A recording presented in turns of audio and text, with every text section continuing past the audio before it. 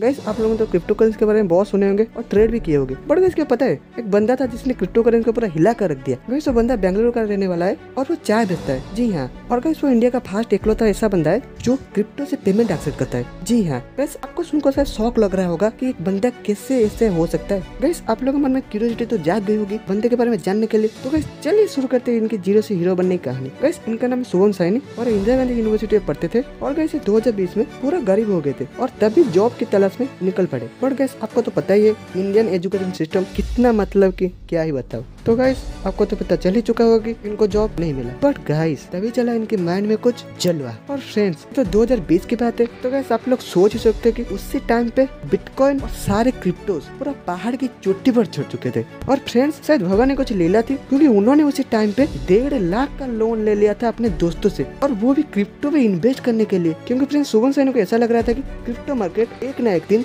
ज़रूर ऊपर जाएगा। और ऐसा हो भी गया।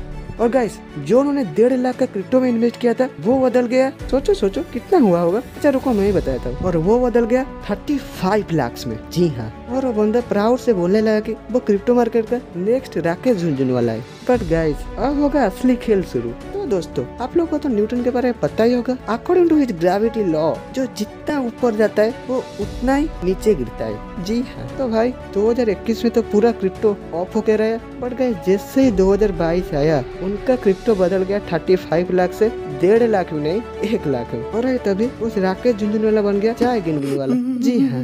But guys consistency is the key of everything उन्होंने तभी भी हार नहीं मानी और उसके बाद उन्होंने खोला बैंगलोर में अपनी चाय की दुकान, जहाँ पे क्रिप्टो एक्सेप्ट होता है। और न्यू वाला सिस्टम देख के सारे लोग उनकी चाय की दुकान तरफ़ अट्रैक्ट हुए। इवन तो टाइम्स ऑफ़ इंडिया तो हिंदुस्तान टाइम्स और ऐसे करके कई बड़ी बड़ी न्यूज़ कंपनियाँ उनका इंटरव्यू लेने लगे। और उनके पास ऐसा कुछ न्यू ऐप था जो इंडियन करेंसी को ट्रांसफ़र करके क्रिप्टो में कन्वर्ट करता था। और उसके बाद से उनकी चाय की दुकान से इतना रेवेन्यू जनरेट होने लगा कि वो फिर से क्रिप्टो में इन्वेस्ट करने लगे। और उन्होंने इस क्रिप्टो के लिए अपना बीसीए का कोर्स आधा ही छोड़ लिया था। तो गाइस इससे सीखने को मिलता है कि पेशेंस ही सब कुछ होता है। अगर आपके पास पेशेंस है तो आप कहीं पे भी टॉप कर सकते हो। जी हाँ। अगर मैं चला तो सब्सक्राइब कर देना और एक वीडियो को लाइक कर देना। थैंक यू वॉचिंग अभी गुड डे